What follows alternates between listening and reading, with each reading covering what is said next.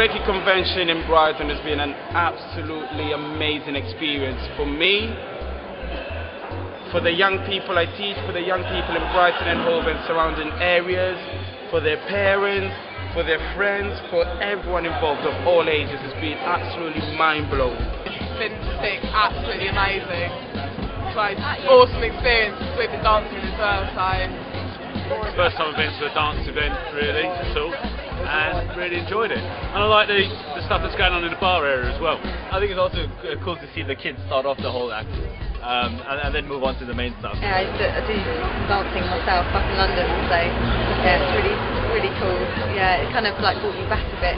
Oh, it was awesome. So good. I was so impressed. It was just like the climax at the end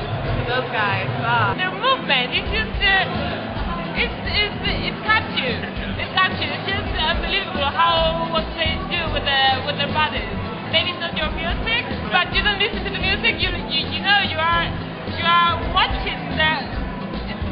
I'm visiting from the United States. So we were here on vacation, we heard about it, we came, and it was just amazing. Frank Ejara. Frank Ejara was absolutely incredible. I, I would love to see more of him. Absolutely. Electric Boogaloo, I think, which was sick. Like, there's some old boys, like, proper old school though, but like, I loved it.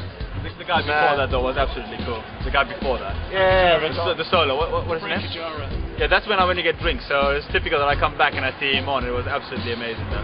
Uh, that was worth worth the money coming here for. Invigorating, invigorating, therapeutic, healing factor. I come out, I want to just go and jump around, I want to learn to somersault, I want to do some robot moves. It's, it's crazy, absolutely And crazy. it's just so amazing to bring a positive vibe to Brighton and Hove, especially when people associate hip hop with gun culture and pimps and prostitutes, whatever. But it's not like that. Hip hop is about creativity, it's about unity, love, peace, everything, man.